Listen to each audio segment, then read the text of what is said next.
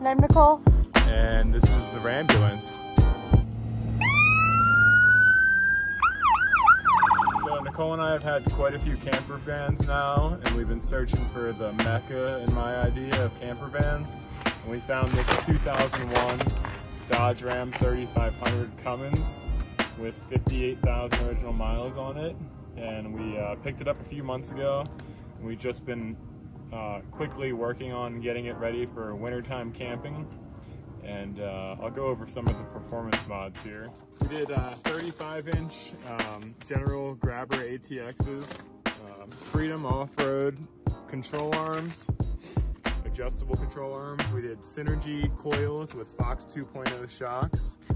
In the front here, Dodges are known for having terrible steering, so we upgraded into a Synergy uh, steering with BD Diesel track bar and Fox um, steering stabilizer.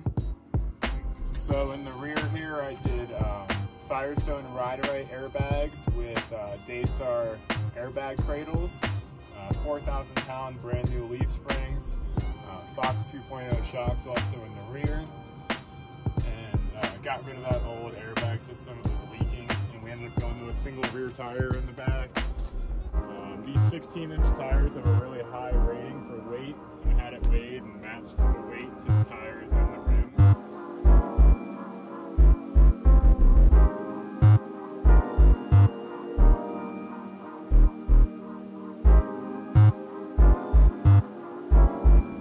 did a Beans diesel uh, fuel sump to go with the FASS system.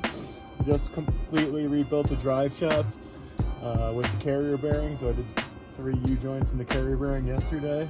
You can see under here I did a Hellwig rear sway bar, which I had to elongate the sway bar links because of the lift in the rear.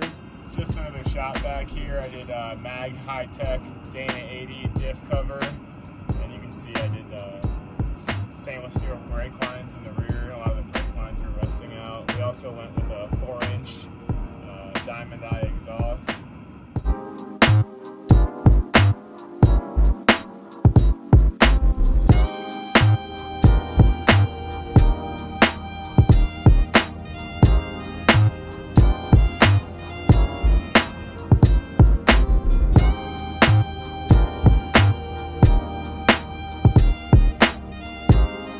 Been mostly focused on performance for now, and we're going to start building out the inside here any minute. But uh, I'll just show you the, all the boxes on the outside. We'll show you the inside. here we got our onboard air. This is what used to run the old airbags, but now I can use the air up and down our tires and our airbags. Uh, it's also a pass through to the inside. We're going snowboarding later today, so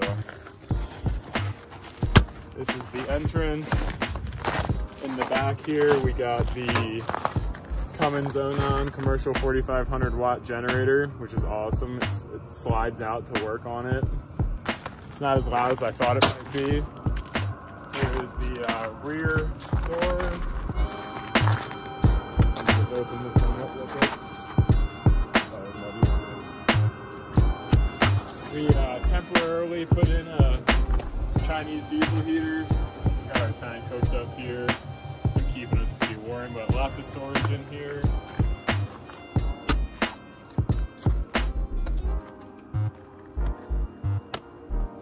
Here's uh, our wiring mess for now. We haven't cleaned it up, but these are our house batteries for now, and uh, our, our on and off switch, and our fuses.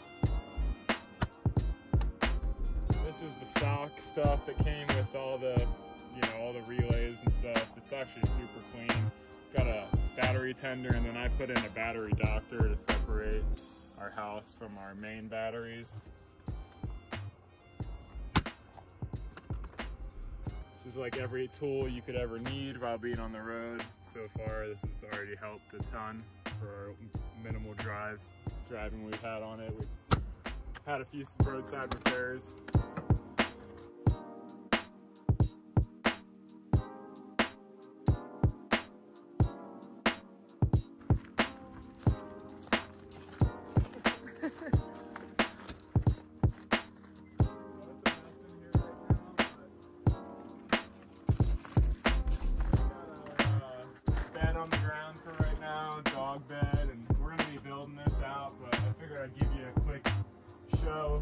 Pretty cool. Uh, this particular Frazer ambulance came with a built-in AC and um, heat pump, so if I ever have any problems with the diesel heater, I can kick on the generator and we have air conditioning and heat.